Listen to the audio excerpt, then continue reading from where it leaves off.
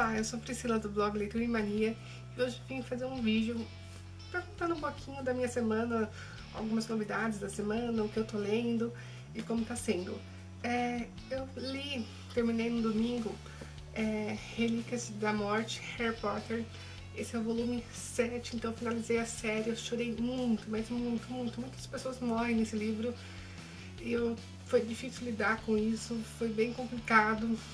É um livro maravilhoso então, a gente estava então tá debatendo, a gente vai debater esse livro então dia 10 de setembro é, lá no grupo.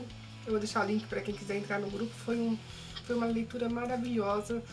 É, eu tô sem palavras porque eu demorei tanto para ler esse livro, nem eu sei. Mas valeu cada minuto lendo esse livro. É um livro maravilhoso. E aí depois eu vou pegar toda a série, vou fazer um, alguns vídeos aqui no canal falando um pouquinho como foi minha experiência de ler Harry Potter pela primeira vez, como foi a leitura dos livros e tudo mais. É, depois estou fazendo uma leitura conjunta desse livro Despossuídos, da Ursula Le Guin, é, da editora Aleph. É um livro maravilhoso, ela é um livro mais pesado, é um livro que você não consegue ler tão rápido, ela aborda muitos assuntos, é um livro escrito lá bem antigo e é tão atual ao mesmo tempo ela consegue ser uma escritora magnífica, sério.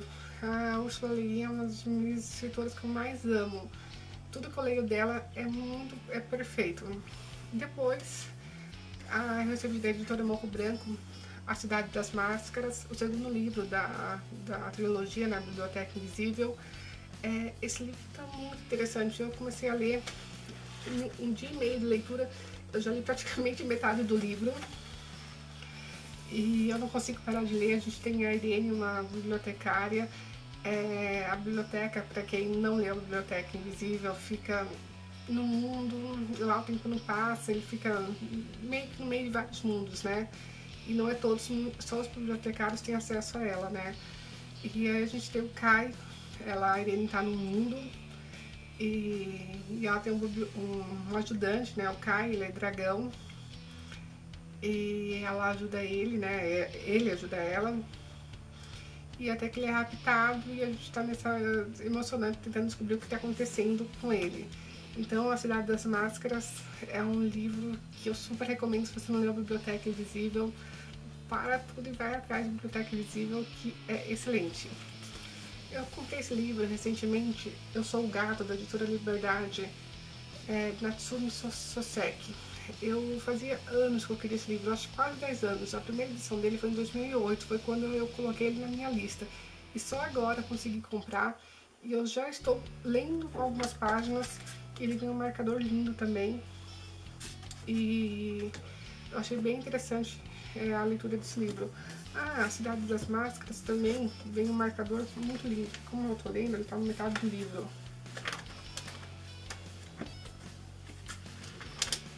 Vou achar agora, mas veio um marcador muito lindo, A Cidade das Máscaras. No domingo, eu li esse quadrinho, é um quadrinho nacional, é, naqueles tempos Clump, 20 anos de história desse personagem, é um quadrinho do Landelli. Ele fez uma HQ agora para a Turma da Mônica, né, daquele Graphics, e eu achei bem interessante. Eu comprei essa HQ em 2014 na Comic Con, foi lançamento, e eu acabei comprando lá, tem o autógrafo dele aqui. E eu achei bem interessante, foi uma leitura bem prazerosa, bem tranquila. De HQ, eu também li isso daqui, Arquivos Secretos. É um pouco de fantasia, é magnífico.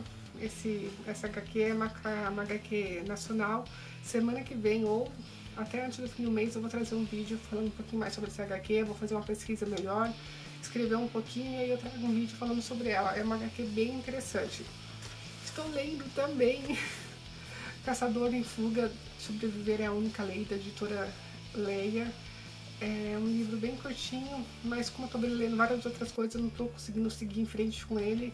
Mas tem uma história bem interessante sobre um cara, ele não lembra onde ele tá, e teve um assassinato. E tô bem no comecinho, é um livro bem interessante.